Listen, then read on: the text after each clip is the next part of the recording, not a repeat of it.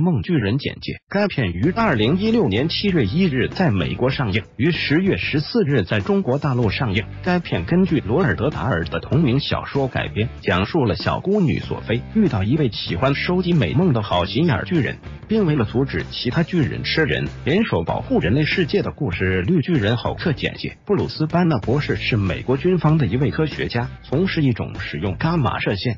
的新型炸弹的研究，布鲁斯班纳的前女友，学术研究同样出色的同事贝蒂罗斯珍妮弗康奈利士，厌倦于他情感的闭锁，转而成了他平静生活的旁观者。在一次实验中，班纳为了保护一位年轻的同事，使自己暴露在致命的伽马射线之下。出乎意料的是，班纳不仅没有被射线杀死，而且还从奇怪的辐射源中获取了不可思议的力量。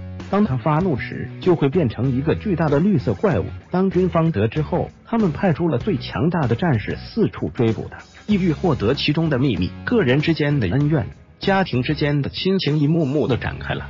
巨人捕手杰克简介：影片讲述在长达几个世纪的放逐之后，这些巨人第一次重回大地，他们是要夺回到失去的领土。而杰克为了阻挡巨人的脚步，也被迫加入这场生死攸关的战斗。为了国家和人民，以及勇敢的公主对于自己的青睐，杰克必须直面他一度认为是存在于传奇中不可阻挡的对手。而他自己最终成就了属于自己的传奇。格列佛游记简介：格列佛是一个公司邮。正是小职员，岁数也不小，可是业和爱情却都一无所成。平时唯一的爱好就是星球大战了，玩偶作伴。一次阴差阳错的公派任务，把他带到了百慕大群岛，不料出海即遭遇到大风暴，在一切风平浪静之后，发现自己来到了一个地图上没有的神秘小岛这里住着成百上千小人。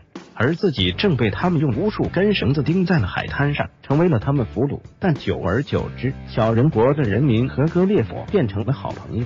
利弗巨人简介：明尼苏达州阳光明媚的一天，沃克教官引领马丁威廉姆斯、M.S.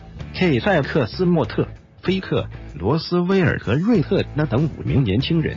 来到了位于深山老林隐秘之处的营地，展开新兵训练。这几名年轻人性格张扬，各有心事。虽然心底极度抵触这样的强制兵役，可却无可奈何。幽静隐蔽的自然丛林，恐怖的气氛悄悄蔓延。这里隐藏着传说中的斧头巨人保罗·班扬。进击的巨人简介：根据剑山创的同名漫画改编，是电影版的前篇，由通口真嗣执导，三浦春马、长谷川博己。